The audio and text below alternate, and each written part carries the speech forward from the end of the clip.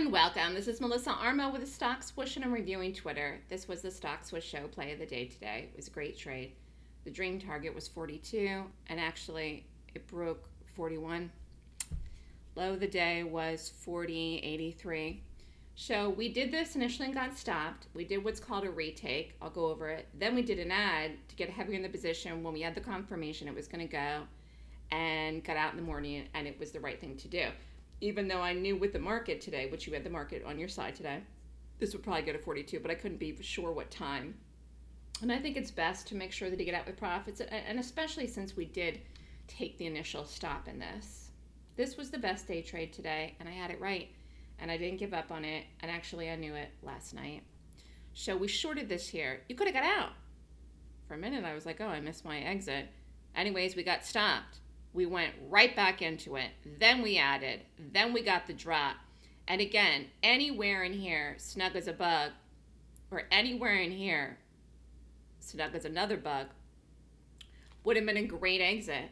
Even though if you held this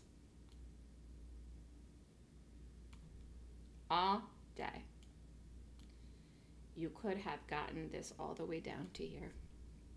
It flatlined, it was weak, it just ran out of steam, but it really did keep going lower. And again, it had the market's help.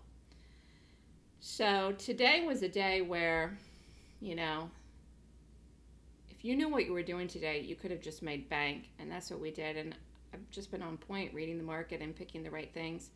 The fact this needed a retake wasn't a big deal. I, I knew it was going to go. I mean, I said it right in the room. This is going to go. And to have something go to the dream target, it's really nice to get some follow through here. Uh, you know, we've been getting follow through. And uh, I think it's a good sign for earnings season. It is still earnings season. There's hundreds and hundreds of stocks still yet to report. Twitter was in earnings. Twitter gapped down last night into this morning. And again, for those of you that don't know what I do, I look at stocks that are gapping and I rate them in the pre market to determine if they're a long or short.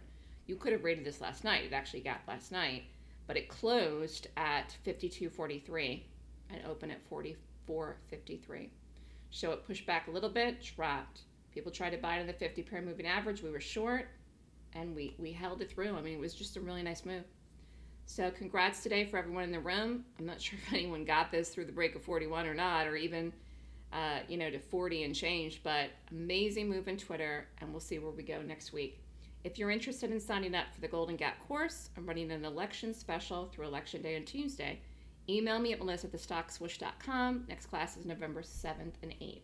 Have a good night, everyone.